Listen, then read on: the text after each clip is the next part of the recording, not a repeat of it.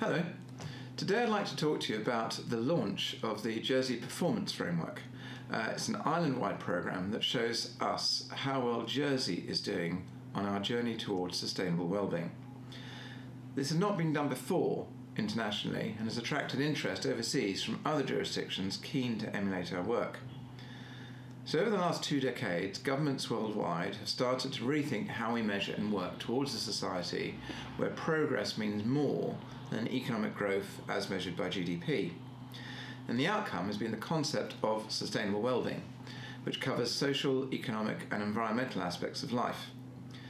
So, the Council of Ministers has incorporated the sustainable well-being of current and future generations into the formation of the government plan, and obviously that was passed by the States Assembly just before Christmas. So the Jersey Performance Framework provides a nuanced and Jersey specific barometer to measure progress and sustainable well-being. Understanding our current baseline and where we've come from will inform better and more effective policy making as we monitor the progress Jersey makes. Thousands of islanders responded and contributed to the Future Jersey consultation, which was informing this framework and creating 20 storyboards brought to life by nearly 200 indicators. These range from life satisfaction, including levels of individuals coping financially and managing high housing costs, satisfaction with Helier as a place to live, smoking reduction, and measures of child and adult obesity.